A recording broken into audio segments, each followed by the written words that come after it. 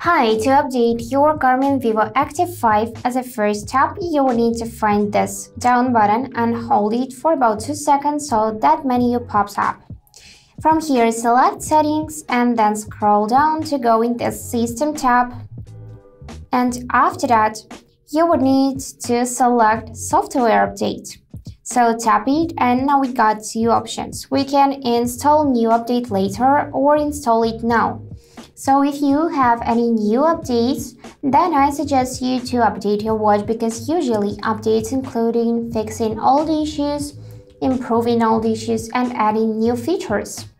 So we can select to install now or install later. Let's install now and now it is preparing update and after that the watch would be updated.